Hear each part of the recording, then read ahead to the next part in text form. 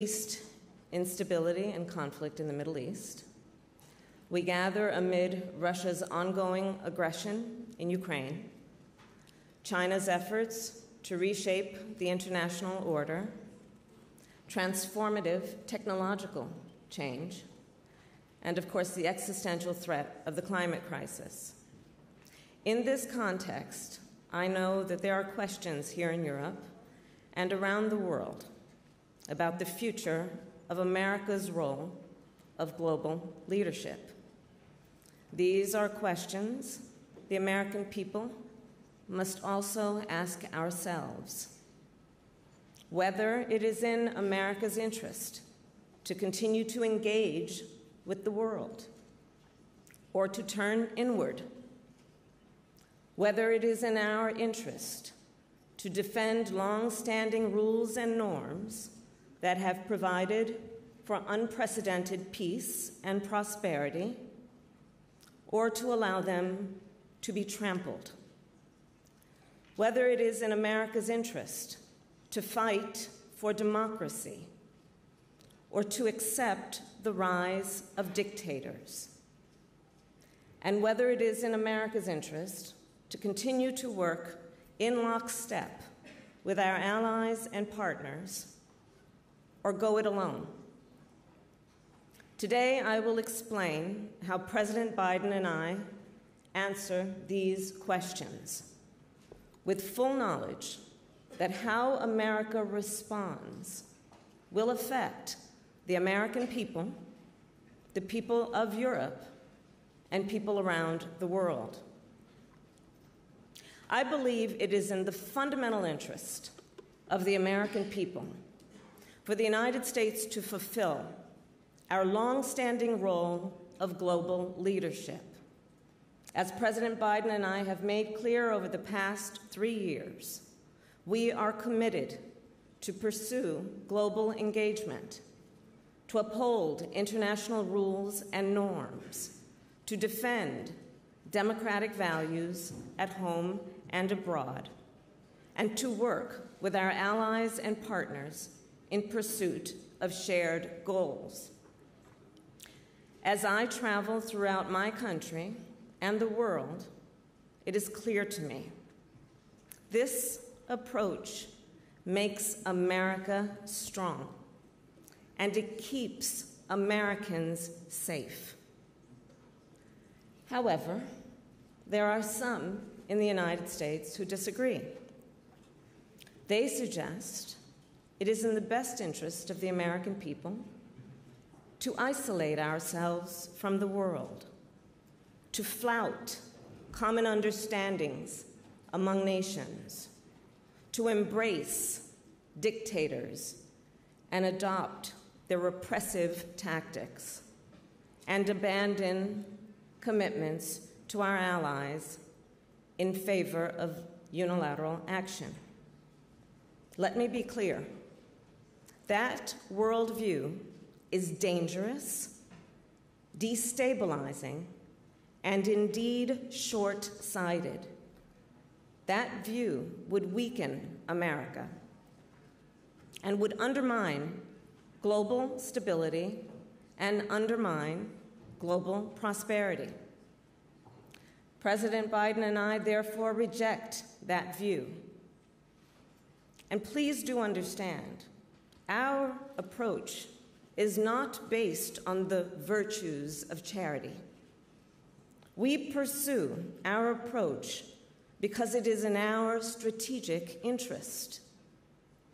I strongly believe America's role of global leadership is to the direct benefit of the American people. Our leadership keeps our homeland safe, supports American jobs, secures supply chains, and opens new markets for American goods. And I firmly believe our commitment to build and sustain alliances has helped America become the most powerful and prosperous country in the world. Alliances that have prevented wars, defended freedom, and maintained stability from Europe to the Indo Pacific. to put all of that at risk would be foolish. President Biden and I have demonstrated there is a smarter way. When it comes to America's national security, our approach starts with our historic direct investment in the working people of America, an investment which has helped build a resilient and innovative economy. We are clear we cannot be strong abroad if we are not strong at home. We have made a once in a generation investment to rebuild our roads and bridges and ports and highways, with more than 40,000 infrastructure projects across all of our 50 states. We're bringing semiconductor manufacturing back to America, which will secure our supply chains and enable the future of technology. And we have invested $1 trillion to address the climate crisis and build a new clean energy economy, reduce emissions, and meet our global climate commitments. Our economic vision has ensured America's economy remains the strongest in the world. With historic job creation, historic creation of small businesses, and broad based economic growth. And over the past three years, backed by this strong track record at home, we have implemented our national security strategy. In the Indo Pacific, we have invested heavily in our alliances and partnerships and created new ones to ensure peace and security, and of course, the free flow of commerce. We have responsibly managed competition with China standing up to Beijing when necessary, and also working together when it serves our interest.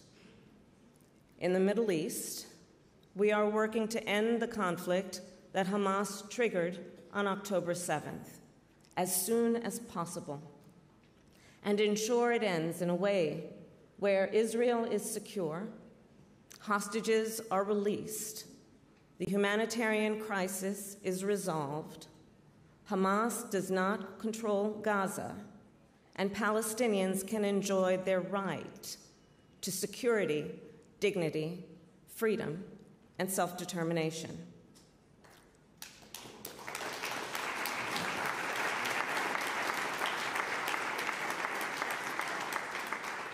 This work, while we also work to counter aggression from Iran and its proxies, prevent regional escalation, and promote regional integration.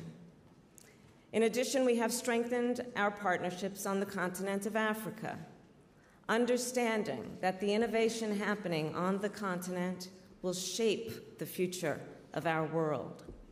We have also worked with partners in the Caribbean and throughout Latin America to increase private sector investment address the climate crisis, and address the root causes of migration. And the Biden Harris administration has led the world to respond to the climate crisis and ensure AI is developed in service of the public interest. We have also worked to advance and uphold rules and norms for outer space and to empower women around the globe. And here in Europe, we have joined forces with our friends and allies to stand up for freedom and democracy. Christoph, I reflect on two years ago when I first stood on this stage on the eve of Russia's invasion of Ukraine. Many of, of us will recall that time when many thought Kiev would fall within days. Yet the skill and the bravery of the people of Ukraine along with the leadership of President Zelensky and the 50 nation coalition the United States has led, has allowed Ukraine to achieve what so many thought was impossible. Today, Kiev stands free and strong.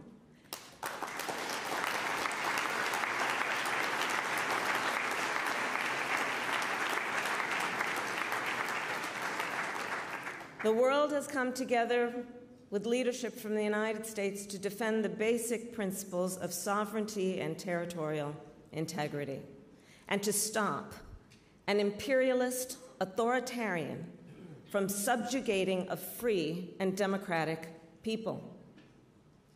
Make no mistake, Putin's war has already been an utter failure for Russia.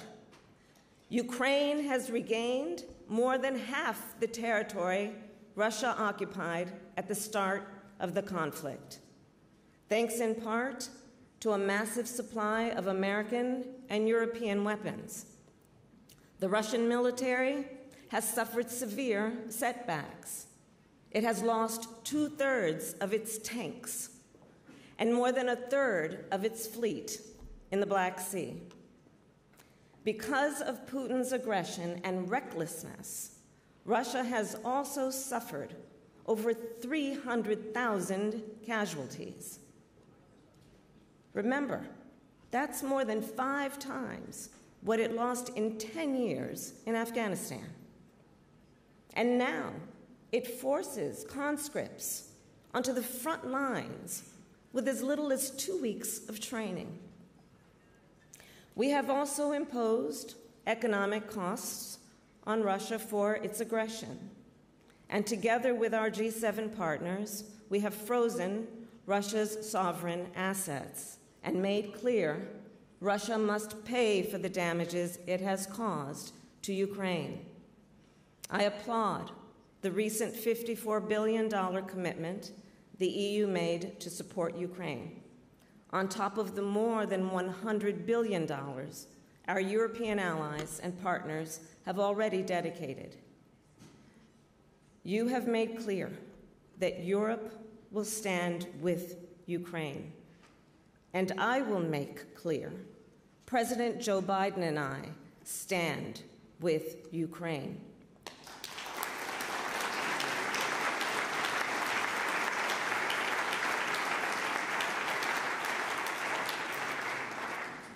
In partnership with supportive bipartisan majorities in both houses of the United States Congress, we will work to secure critical weapons and resources that Ukraine so badly needs.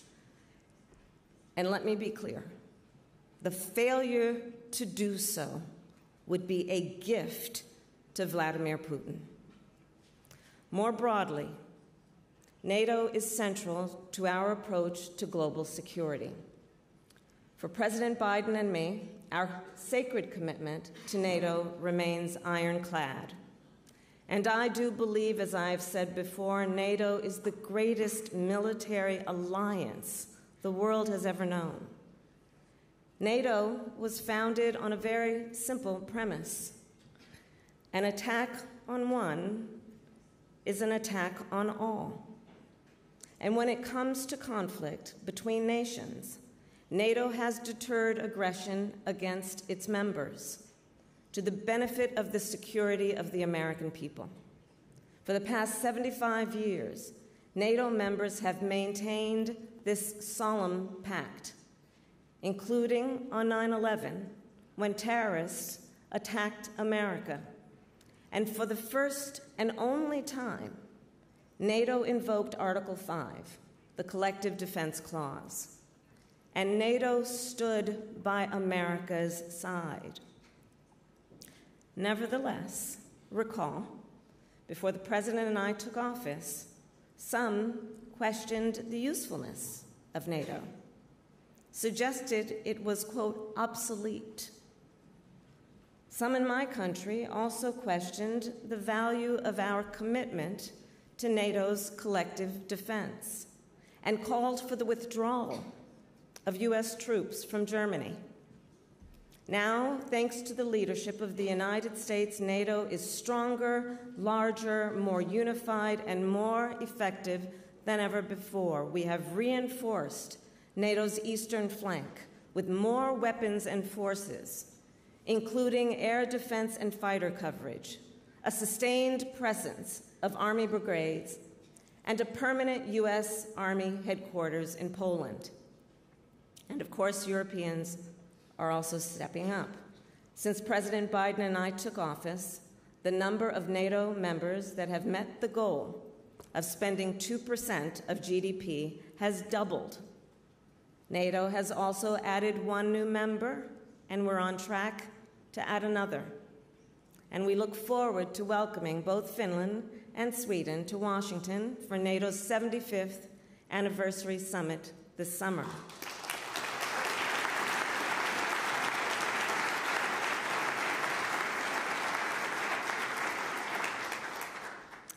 Around the world, we have made great progress. But ultimately, I do believe none of the gains we have made will be permanent unless we are vigilant. And let us remember none of these gains were inevitable.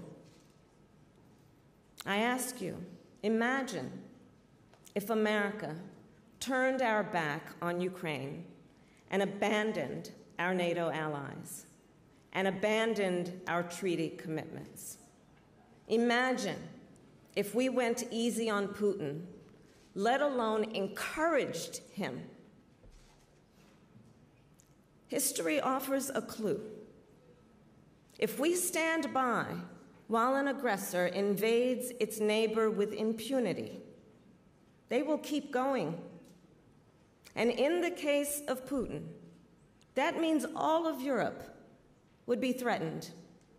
If we fail to impose severe consequences on Russia, other authoritarians across the globe would be emboldened. Because you see, they will be watching, they are watching, and drawing lessons. History has also shown us if we only look inward, we could not defeat threats from outside. Isolation is not insulation. In fact, when America has isolated herself, threats have only grown. I need not remind the people of Europe of a dark history when the forces of tyranny and fascism were on the march. And then America joined our allies in defense of freedom and to safeguard our collective security. So I'll close with this. In these unsettled times, it is clear America cannot retreat. America must stand strong for democracy. We must stand in defense of international rules and norms. And we must stand with our allies. That is what represents the ideals of America. And the American people know that is what makes us strong. And make no mistake, the American people will meet this moment. And America will continue to lead. I thank you very much.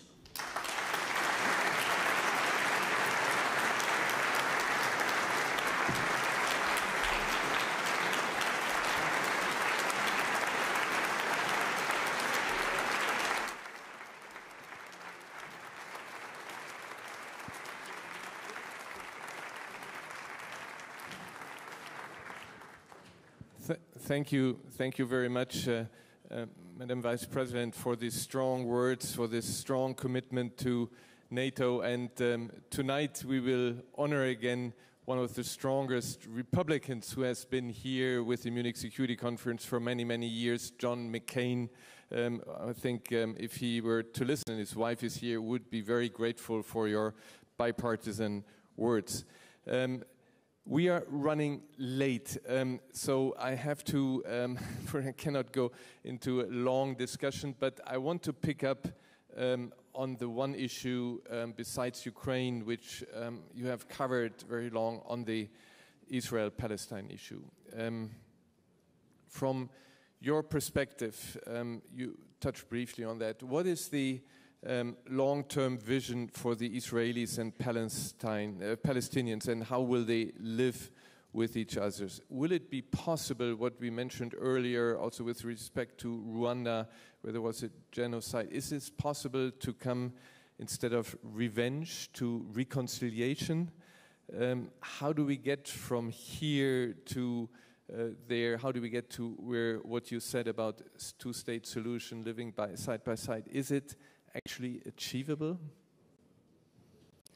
The short answer is yes, I do believe it is, but we must then put the discussion in context. Starting with October 7. On October 7th, Hamas committed an, a terrorist act that was about slaughtering over 1,200 Israelis, innocent people, many of them young people who were attending a concert. Women were horribly tortured and raped, rape being used as a tool of war.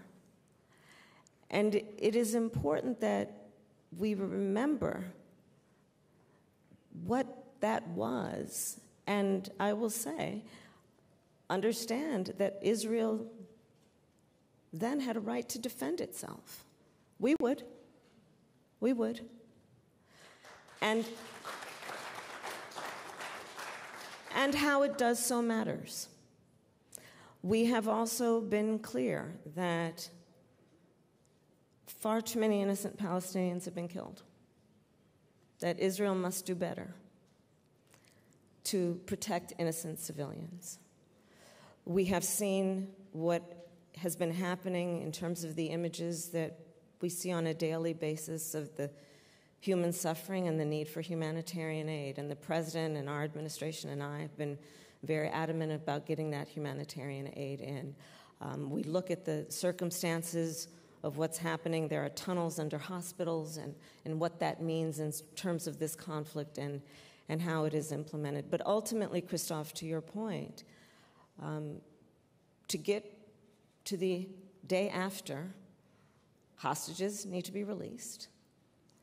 Um, we must understand the importance of the principles that should be applied to the day after, including no reoccupation of Gaza, no change of its geographic territory, um, no return of, of terrorism by Hamas, and ultimately apply certain principles to how the day after will look, including the importance of security for Gaza and the region, both interim and permanent, what must be done in terms of governance for Gaza, and then rebuilding Gaza. We've been very clear that we believe that the PA should be the authority on that with reform, but that that should take place.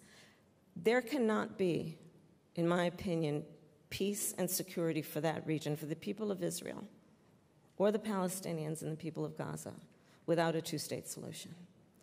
And we cannot give up on that. But how we get there is going to matter. And most recently, just this week actually, I was with the King of Jordan in, in my West Wing office in Washington.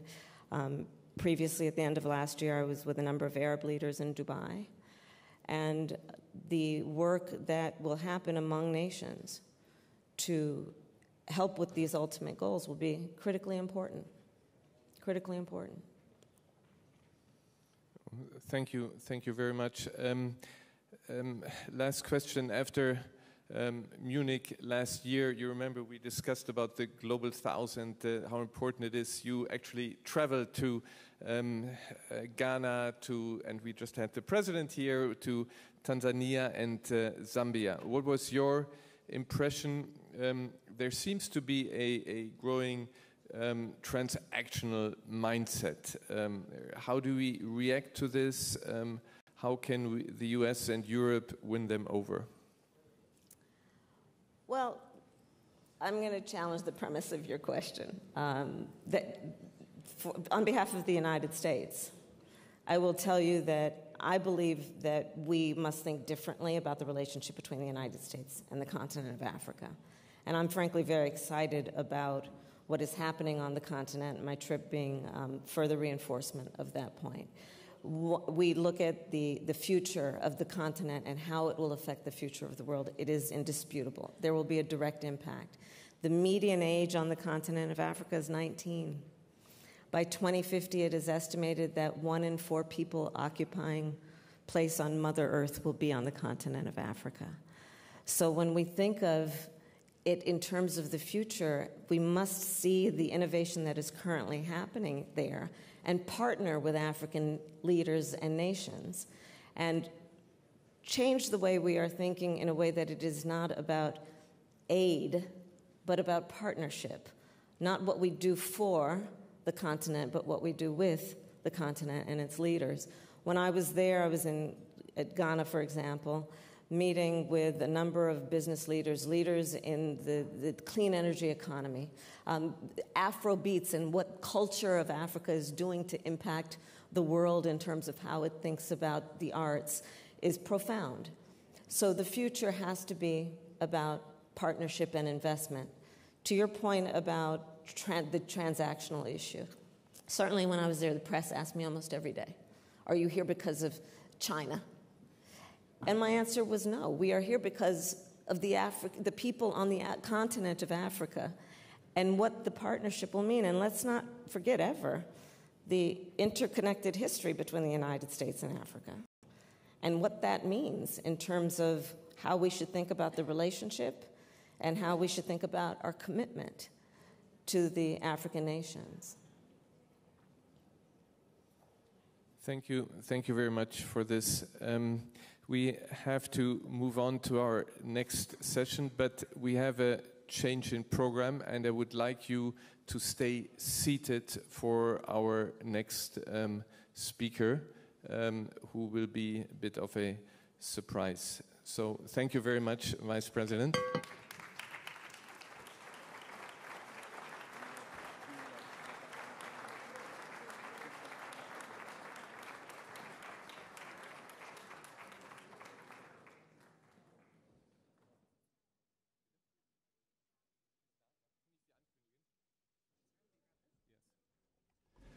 Please, um,